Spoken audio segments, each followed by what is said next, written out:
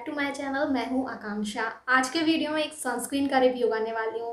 जैसे कि अगर आप मेरे वीडियोस देखते होंगे तो मैं हमेशा कहती हूँ कि सनस्क्रीन यूज़ करना बहुत ज़्यादा ज़रूरी है। इसके नाम से ही जैसे पता चलता है कि सनस्क्रीन मतलब सन से प्रोटेक्शन मिलता है। सन डैमेज के कारण ही आधे से ज़्यादा स्किन प्रॉब्लम्स हो जाती हैं, जो कि हम नहीं समझते। हमें लगता है कि और सारे रीजंस होंगे, पर जी नहीं। सन से जो रेज़ निकलती हैं, वो हमारे स्किन के लिए बहुत ही गंदी होती हैं और इनसे प्रोटेक्शन करना बहुत ज़्यादा ज़रूरी होता है। सन से जो रेज़ निकलती हैं, वो थ्री टाइप्स की होती हैं, एक तो U V A U V B और यू वी सी जो यू वी सी रेज़ होती है ना, वो तुम्हारे स्किन तक पहुँच ही नहीं पाती हैं एटमॉस्फेयर में ही एब्जॉर्ब हो जाती हैं। पर जो यू वी और यू वी वी रेज़ होती है, वो हमारी स्किन तक पहुँचती है और हमारे स्किन को बहुत ही बुरी तरह से डैमेज करती है। इन दोनों रेज़ के कारण ही हमारे स्किन पे सन बर्न होता है टैनिंग होती है रिंकल्स और एजिंग की प्रॉब्लम्स वीडियो में जिस प्रोडक्ट का रिव्यू करने वाली हूँ, वो है ये। U V break sunscreen gel S P F fifty इसका मैं रिव्यू करूँगी। इसको मैं काफ़ी दिनों से यूज़ कर रही हूँ और काफ़ी दिनों मतलब ये ट्यूब मैंने ख़त्म कर दिया है और कट कट करके भी इसको यूज़ किया, क्योंकि इधर नीचे बहुत सारा प्रोडक्ट होता है, ख़त्म हो जाए, इसके बाद आप कट करके दस पंद्रह दिन तक और भी यूज़ कर सकते हैं।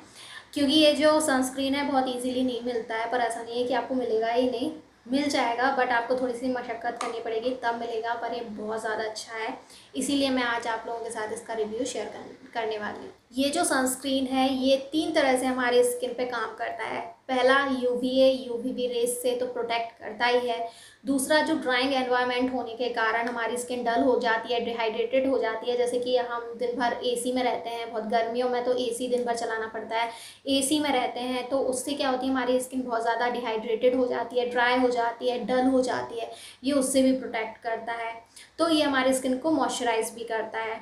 साथ ही साथ ये हमारी स्किन को एयर पॉल्यूशन से भी प्रोटेक्ट करता है। जैसे कि स्मोक हेज के कारण हमारी स्किन ख़राब हो जाती है, उससे भी प्रोटेक्ट करता है। मार्केट में आजकल बहुत सारी एंटी पॉल्यूशन क्रीम्स आती हैं सनस्क्रीन आते हैं मॉइस्चराइज़र आते हैं तो ये उसी के जैसे काम करता है। ज़्यादातर लोग सनस्क्रीन लगाने से इसलिए डरते हैं क्योंकि उनको अभी तक अच्छा सनस्क्रीन मिला ही नहीं है। उनका एक्सपीरियंस सनस्क्रीन के साथ बड़ा ही ख़राब होता है। जैसे कि स्किन का बहुत ज़्यादा ऑयली होना स्टिकी हो जाना, चिपचिप करना, बहुत ज़्यादा भारी भारी लगना सनस्क्रीन लगाने के बाद। कुछ सनस्क्रीन ऐसे हैं जिनको लगाने के बाद चेहरा एकदम वाइट वाइट नज़र आता है।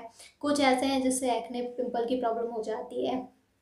तो ये सारे रीज़न्स ऐसे हैं जिससे कि लोग डरते हैं सनस्क्रीन लगाने से. इवन मैं भी बहुत दिनों बाद मतलब मुझे तो बहुत पहले से पता था सनस्क्रीन के बारे में, पर बहुत दिनों बाद मैंने सनस्क्रीन लगाना शुरू किया क्योंकि मुझे कोई अच्छा सनस्क्रीन मिला ही नहीं था.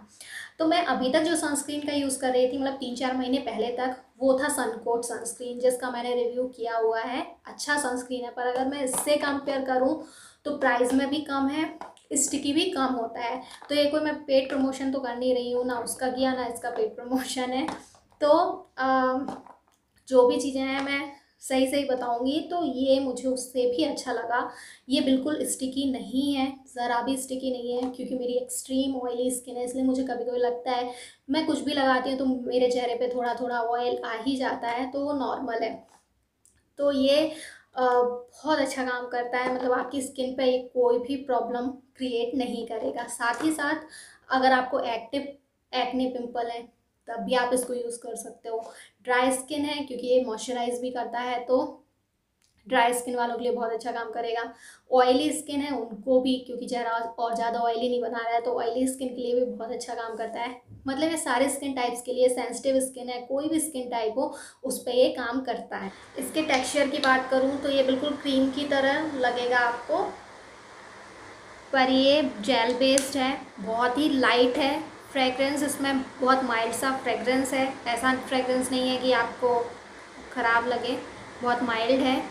और बहुत अच्छे से स्किन पे ये एब्जॉर्ब हो जाता है। ऐसा लगेगा जैसे आप कोई मॉइस्चराइज़र लगा रहे हैं। के आउटर पैकेजिंग की बात कर लेते हैं कि ये क्या क्या क्लेम करता है। तो इधर देखेंगे तो multi protection day gel UV break S P F fifty sunscreen है U V B high protection देता है। Broad spectrum oil free sunscreen gel है।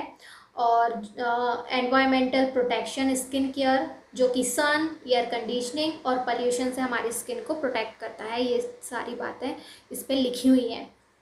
Light and non greasy everybody and everyday use for face and body तो आप इसको सिर्फ़ skin पे ही नहीं, जो भी आपके पार्ट्स एक्सपोज होते हैं, हाथ पे बैक पे और नेक पे, आप इसको यूज़ कर सकते हैं।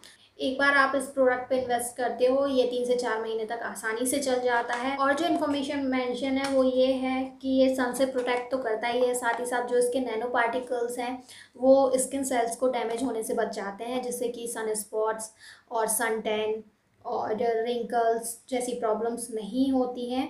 और ये जो सनस्क्रीन है स्किन को लॉन्ग लास्टिंग हाइड्रेशन भी प्रोवाइड करता है। इंग्रेडिएंट्स की बात करूँ तो सारे इंग्रेडिएंट्स मैं मेंशन कर दूँगी। आपको स्क्रीन पे मिल जाएगा।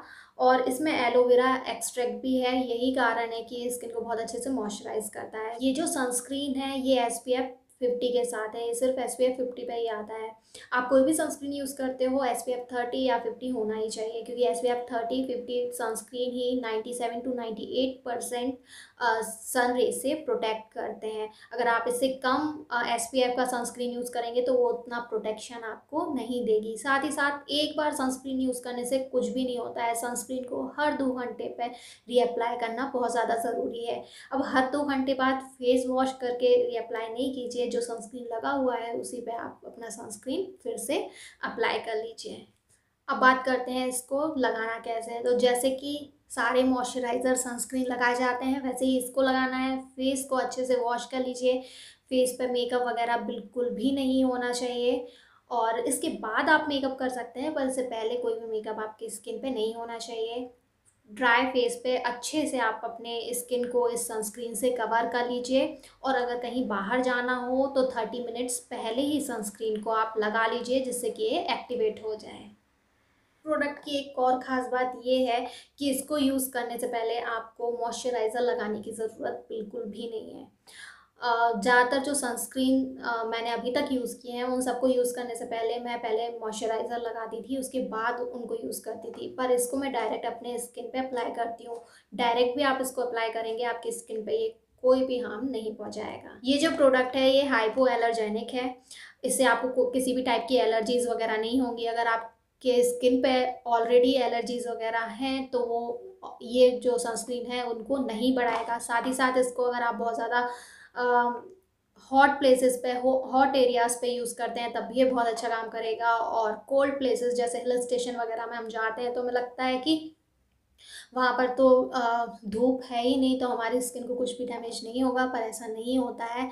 आप मौसम ठंडा हो, गर्म हो जो सन की रेज़ होती हैं, वो हमारी स्किन के लिए हार्मफुल होती हैं डैमेज पहुंचाती है। तो ऐसी जगहों पर पर भी ये बहुत अच्छा काम करता है। साथ ही साथ ये नॉन कॉमेडोजेनिक है, जिनकी भी ऑयली स्किन है। और सिर्फ़ ऑयली नहीं, सारे स्किन टाइप वाले, पर स्पेशली ऑयली स्किन वालों को, क्योंकि ऑयली स्किन वालों के जो पोर्स हैं, बहुत जल्दी ब्लॉक होते हैं। वो इसलिए होते हैं क्योंकि ऐसे लोग नॉन कॉमेडोजेनिक प्रोडक्ट्स यूज़ नहीं करते। तो ये जो प्रोडक्ट है, ये नॉन कॉमेडोजेनिक है मतलब आपके जो पोर्स हैं, उनको ब्लॉक नहीं करता है और जब पोर्स वगैरह ब्लॉक नहीं होंगे तो बाकी की सारी प्रॉब्लम्स होंगी ही नहीं, जैसे acne pimples black heads white heads ये सारी प्रॉब्लम्स नहीं होंगी। सनस्क्रीन है, ये एम्बल हेल्थ केयर का प्रोडक्ट है सिक्सटी ग्राम का इसका ये पैक आता है। एम आर पी इस पर थ्री एटी फाइव दी हुई है, पर आप जब इसको परचेज़ करोगे तो ये आपको थोड़ा कम ही मिलेगा। और जब भी आप सनस्क्रीन लें तो ध्यान रखें कि आप इसकी मैन्युफैक्चरिंग और एक्सपायरी डेट देख लें। उसके बाद ही सनस्क्रीन लें। तो इसकी जो सेल्फ लाइफ है, वो टू इयर्स है तो आप इसको दो साल तक आराम से यूज़ कर सकते हैं। आप एक अच्छे सनस्क्रीन में इन्वेस्ट करना चाहते हैं तो इससे अच्छा सनस्क्रीन नहीं होगा। ऐसा नहीं है कि ऐसे सनस्क्रीन मार्केट में अवेलेबल नहीं है, बिल्कुल है, पर जो भी मैंने देखे हैं, जो कि एंटी पल्यूशन का काम करते हैं और एस पी एफ़ फिफ्टी के साथ हैं, जो कि नॉन ग्रीसी होते हैं, वो सारे काफ़ी कॉस्टली होते हैं। तो ये बहुत ज़्यादा सस्ता भी है और बहुत अच्छा काम भी करता है। बस थोड़ा मिलना मुश्किल हो सकता है, पर अगर आपको मिलता है तो ये आप बिल्कुल परचेज़ कीजिए। इस सनस्क्रीन से रिलेटेड जो भी इंफॉर्मेशन इधर दी हुई है, वो सारी मैं स्क्रीन पे मेंशन कर दूँगी। आप वहाँ से देख सकते हैं, अच्छे से देख लीजिए, पढ़ लीजिए, समझ लीजिए। अगर आपको पसंद आता है तो इसको ज़रूर परचेज़ कीजिए। या फिर आपको जो भी सनस्क्रीन आपको सूट करता है, या जो भी आप लगाते आ रहे हैं, जो भी आपको पसंद है, आप यूज़ कीजिए, पर सनस्क्रीन यूज़ ज़रूर कीजिए।